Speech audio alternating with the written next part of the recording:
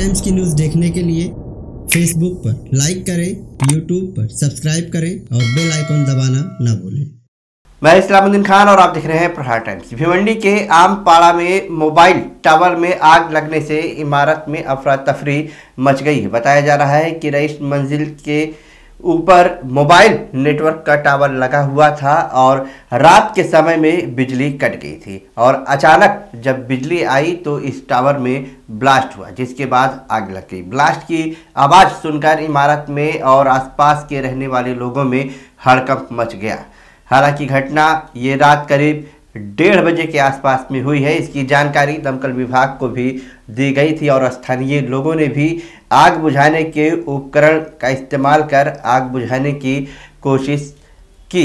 लेकिन जैसे तैसे कर आखिरकार मोबाइल टावर में लगे आग को काबू कर लिया गया है। मैं मरवा में रहता हूँ तो आवाज़ आई, एक धमाका हुआ और थोड़ी देर के बाद, एक दो मिनट के बाद आग बहुत ज़्यादा बढ़ती चली गई। तो सब बिल्डिंग, चारों तरफ़ से सारे लोग भाग के आए।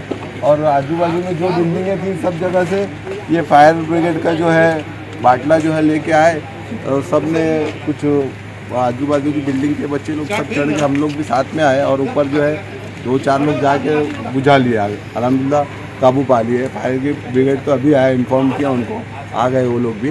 लेकिन अलहमदिल्ला हम लोग ने एक बिल्डिंग का नाम क्या है? Rice Rice Mansion Rice Rice Mansion Super Bakery के पास सुपर बेकरी के सामने।